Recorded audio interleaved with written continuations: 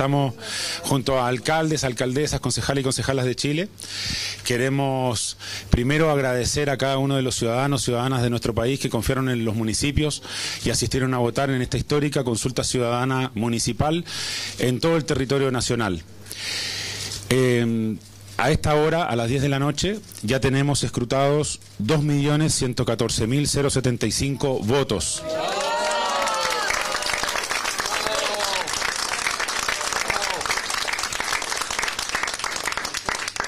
Sabemos que en el hogar hay muchos ciudadanos esperando el detalle con relación a los porcentajes.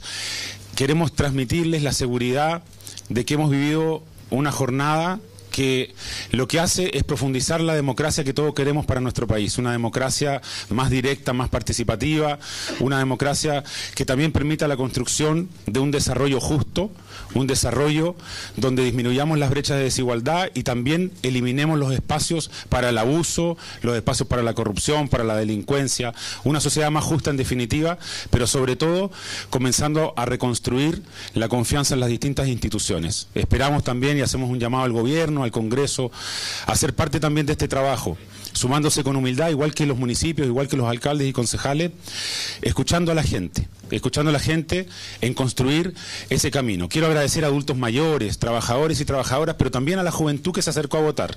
Esa juventud con la que queremos establecer puentes de diálogo.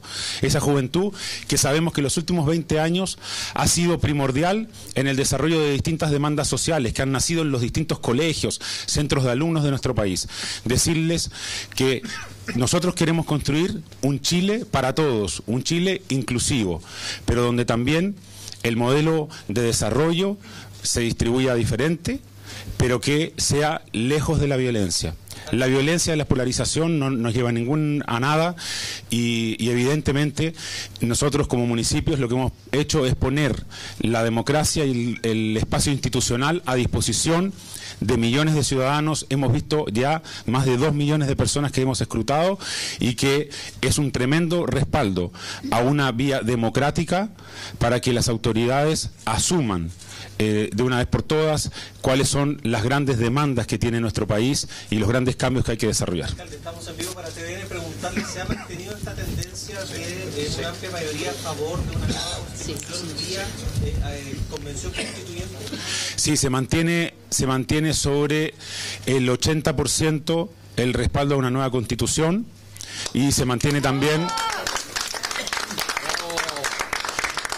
Y se mantiene también una preferencia clara de los votantes por la convención constitucional y no la convención constitucional mixta. Y esto en el sentido de lo que la misma Asociación Chilena de Municipalidades preguntó, que tiene que ver fundamentalmente con el mecanismo con relación al acuerdo por la paz y por la nueva constitución y además también dentro de las preguntas de la primera papeleta ha tenido un respaldo rotundo. Por ejemplo, el sancionar de por vida a personas que se puedan involucrar en tráfico de drogas, que se pueden involucrar en corrupción, para que no puedan postular a cargos de elección popular y además también para los empleados fiscales estableciendo esa prohibición. Así que eh, es un gesto claro de la ciudadanía para que la ética y también el voto obligatorio ha tenido un respaldo sobre el 80% para que se restituya en nuestro país.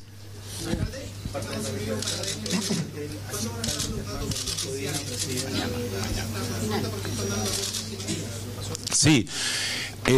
nosotros ya hemos escrutado, como les decía, más de 2.144.000 votos, pero como los ciudadanos pudieron observar, esto eh, es una elección que cuenta con el 47% de los municipios en sistema digital y un 53% de los municipios con papeleta tradicional. Nosotros de aquí a mañana en la tarde debiéramos ya contar con eh, el escrutinio más detallado con cada una de las alternativas, los porcentajes, pero quisimos informar hoy día para que la gente sepa que todo ese esfuerzo que hicieron millones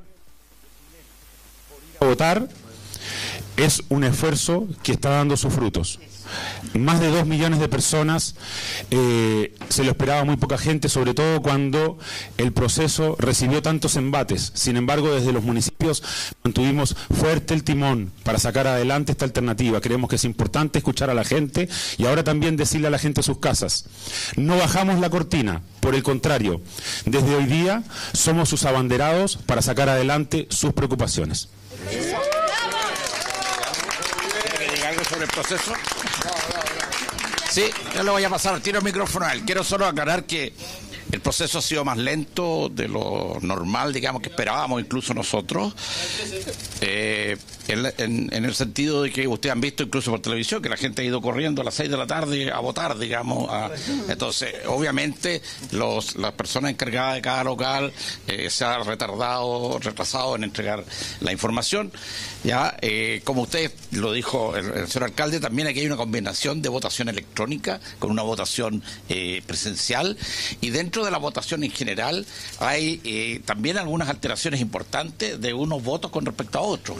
Entonces, computar, computar eso no es una cosa tan simple como sacar un resultado inmediato hoy día. Por lo tanto, yo creo que dentro del día de mañana, como lo ha dicho el alcalde, estarán los resultados definitivos y finales. Muchas gracias.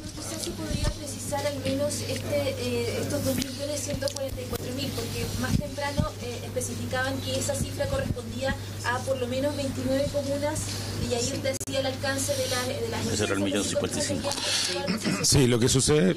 Muy bien. ¿Son solamente se el millón 55 o, o si han podido escrutar algunas mesas? Sí. sí, lo que pasa es que los 2.144.000 eh, es la cantidad de votantes que asistieron y en este minuto los equipos están procesando, ingresando toda la información que está llegando de manera manual, pero quiero también aprovechar, antes de, que se termine la transmisión, de agradecer no solo a los ciudadanos, también a los funcionarios municipales, a las organizaciones sociales, al movimiento social que de alguna manera también respaldó esta respaldó este momento histórico para nuestro país. Hace 30 años recuperamos la democracia. Hoy día Estamos construyendo también una democracia más participativa, más directa. Tenemos que sentirnos orgullosos de este proceso y reitero mi agradecimiento. También a las organizaciones sociales con quienes vamos a seguir trabajando directamente, los movimientos sociales. Aquí estamos para generar un espacio real de participación, de encuentro y de puente, también con la juventud y también con tantos y tantos vecinos de nuestro país y las universidades. Nuevamente agradecer a la USACH porque nos interesa, nos interesa la construcción de ese Chile más justo. Sí, para complementar la pregunta que hacía la dama acá, eh, la primer recuento fueron 1.055.044, correspondía a una institución que era e-voting y que eran 28 comunas, digamos, y solamente electrónico. Y no estaban contemplados ahí los menores de, o sea, los, entre 14 y, y 17 años, que fueron 59.000, así que hay que sumárselo a eso. Pero ese fue el primer cómputo. Y en el cómputo de los 2.144.000 que acabamos de dar también, nosotros eh, sabemos que este proceso recibe embates y opiniones de distintas personas. Queremos dar la tranquilidad de que el escrutinio que estamos dando en este momento es con relación a eh, las personas que están en el padrón electoral. ¿Ya? Los 2.144.000. Además de eso, agregaremos el día de mañana el total de la votación de los menores de 18 años y también eh, todo lo que eh, significa eh, votación de distintas comunas que todavía están haciendo el escrutinio. Muchas gracias.